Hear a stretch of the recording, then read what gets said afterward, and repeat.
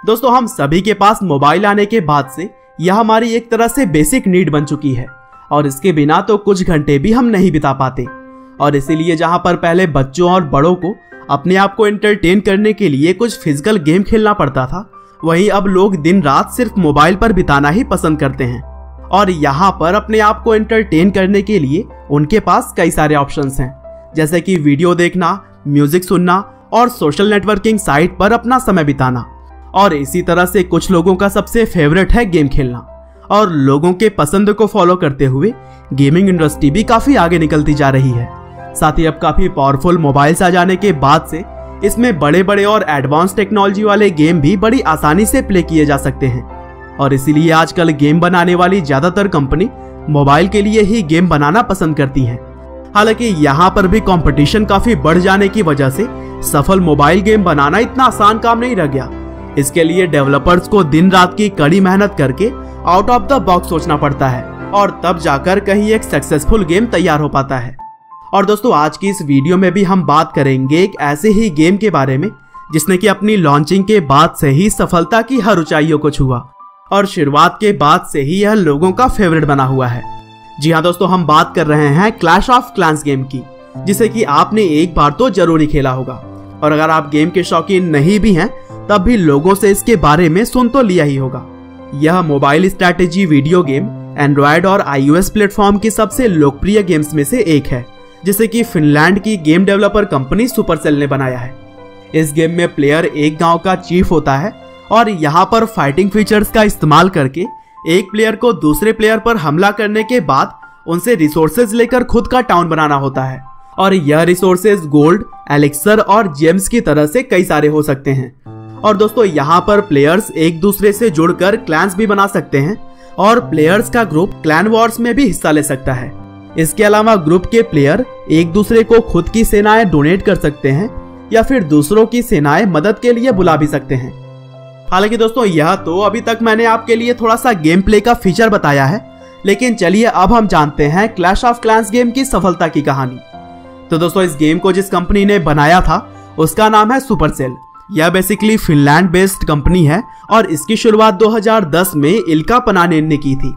शुरू में तो यह कंपनी हर प्लेटफॉर्म्स के लिए गेम बनाने का काम किया करती थी, लेकिन आगे चलकर उन्होंने अपनी स्ट्रैटेजी में काफ़ी बदलाव किया और फ्यूचर को देखते हुए उन्होंने अपना फोकस केवल और केवल मोबाइल गेम बनाने पर केंद्रित कर लिया। हालाँकि दोस्तों कंपनी के शुरुआती समय में महज पंद्रह लोग ही यहाँ पर काम किया करते थे, लेकिन इल्का और उनकी छोटी सी टीम का यही मकसद हुआ करता था कि वे एक ऐसा गेम बनाएँ जिसे कि लोग बिना बोर हुए सालों तक खेल सके। वैसे तो सुपरसेल कंपनी ने अलग अलग तरह के कई सारे गेम्स पर काम किया था, लेकिन उन्होंने सिर्फ़ चार गेम को ही मार्केट में लॉन्च किया, क्योंकि बाकी के जो गेम्स उन्होंने बनाए थे, उसे तो उनके डेवलपर ने ही प्ले करके रिजेक्ट कर दिया था। दरअसल वे मार्केट में अपने बेस्ट प्रोडक्ट के साथ हमेशा ही उतरना चाहते थे, और इसीलिए सफलता मिलने से पहले चौदह गेम्स बनाने के बाद भी उन्होंने उसे रिलीज़ नहीं किया। और इस तरह से कंपनी के पहले सक्सेसफुल गेम का नाम था हे डे इस गेम को पहले दिन से ही पॉजिटिव रिव्यूज़ मिलने लगे और लोगों को भी यह काफ़ी पसंद आया। हालाँकि कंपनी सिर्फ़ यहीं रुकने के इरादे से नहीं आई थी।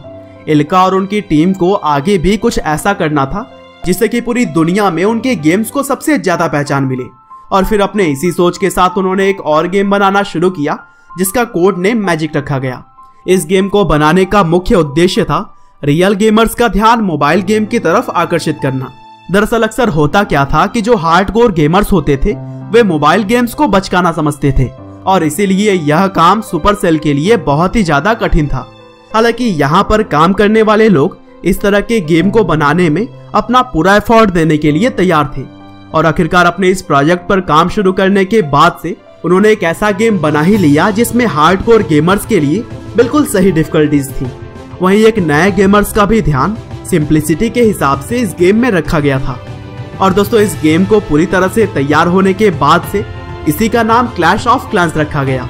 इस गेम को सबसे पहले 2 अगस्त 2012 को आईओएस प्लेटफॉर्म के लिए रिलीज़ किया गया और फिर लगभग एक साल के बाद 7 अक्टूबर 2013 को इसे एंड्रॉयड के लिए भी लॉन्च कर दिया गया। और दोस्तों, अपने शुरुआत के बाद से ही इस गेम ने मानो धूम मचा दिया। यह गेम लोगों के बीच खूब लोकप्रिय हुआ। और अपनी लॉन्चिंग के तुरंत बाद ही यह गेम ऐप स्टोर के टॉप फाइव गेम्स की लिस्ट में भी पहुँच गया। और फिर 2015 आते आते क्लैश ऑफ़ क्लैंस एप्पल के ऐप स्टोर और गूगल के प्ले स्टोर दोनों जगहों पर नंबर वन ग्रॉसिंग गेम बन गया। उस वक्त इसकी हर दिन की कमाई 1.5 मिलियन डॉलर्स थी, जो कि अपने आप में किसी भी मोबाइल गेम के लिए बहुत ही बड़ी बात है। और दोस्तों, आज इस गेम की शुरुआत हुए कई साल हो चुके हैं लेकिन आज भी इस गेम को लोग उतना ही पसंद करते हैं जितना कि शुरुआत में करते थे। उम्मीद करते हैं कि क्लैश ऑफ़ क्लैंस की यह कहानी आपको ज़रूर पसंद आई होगी। आपका बहुमूल्य समय देने के लिए बहुत बहुत धन्यवाद।